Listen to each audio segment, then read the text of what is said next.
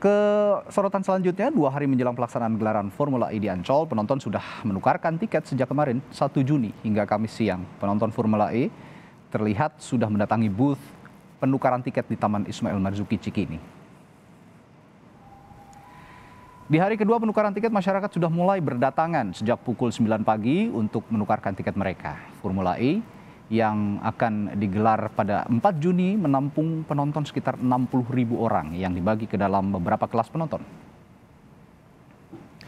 Di Cikini, tempat penukaran tiket Formula E, ada rekan kami Elgen Fridianto. Elgen, proses penukaran tiket sejauh ini bagaimana? Ada kesulitan buat warga di sana?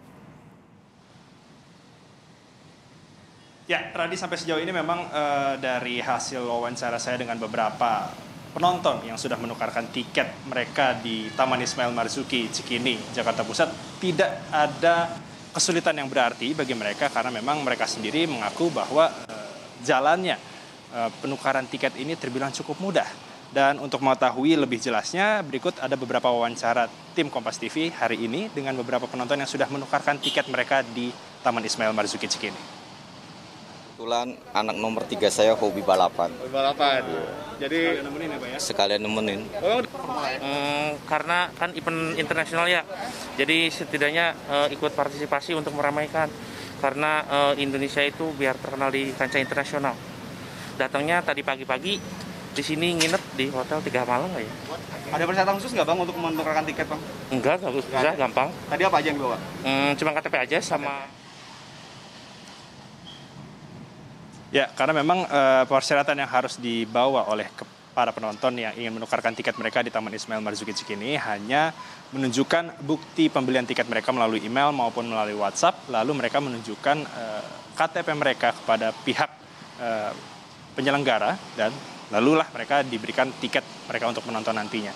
Dan bagi mereka yang tidak bisa menukarkan tiket secara langsung, diberitahukan kepada panitia bahwa mereka bisa diwakilkan jika saja mereka tidak menyertakan KTP sang pembeli tiket, mereka bisa membawa surat kuasa yang juga sudah ditandatangani di atas materai, dan juga saudara.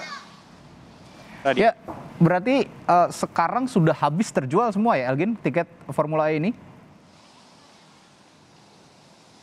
Ya, dari panitia tadi sendiri kami sudah menanyakan untuk tiket yang disediakan oleh penyelenggara ini ada sekitar 60 ribu tiket, dan juga hmm. saudara ini dibagi menjadi 20 ribu tiket itu di dalam sirkuit di mana ada beberapa kategori yaitu kategori VVIP dan VIP yaitu kategori 1A sampai E, mhm. lalu ada grandstand 2A sampai 2I dan juga ada sirkuit festival 3. Dan sisanya itu ada 40 ribu tiket untuk uh, kategori Ancol Festival yang di mana hingga saat ini untuk tiket yang masih bisa dibeli dan juga ditukarkan sampai dengan hari H ialah tiket Ancol Festival yang masih tersedia. Kami juga hmm. tadi sudah mengecek untuk uh, website pembelian tiket Formula E atau Jakarta Aprix 2022 ini untuk tiket okay. yang berada di dalam sirkuit ini sudah sold out dan diharapkan hmm. kepada para penonton yang masih ingin uh, menonton Jakarta Aprix 2022 ini diharapkan untuk bisa membeli tiket sejak kemarin Rabu 1 Juni 2022 hingga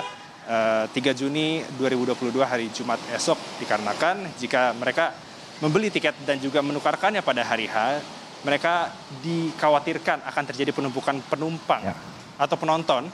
Uh, penumpang maksud saya adalah uh, karena disediakan shuttle dari G Expo Kemayoran tempat penukaran tiket terakhir di hari H karena di tanggal 1 sampai tanggal 3 ini ada tiga tempat penukaran tiket yaitu di Velodrome, di Taman Ismail Marzuki di belakang saya dan juga ada di Tamrin City.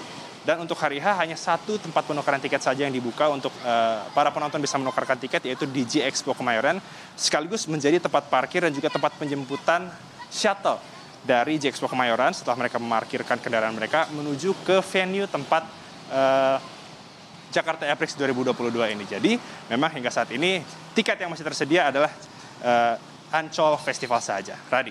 Ya, pasti seru kita tunggu nanti tanggal 4 Juni dan kita sukseskan bersama gelaran Formula E di Jakarta. Terima kasih Elgin Fridianto melaporkan langsung dari Cikini.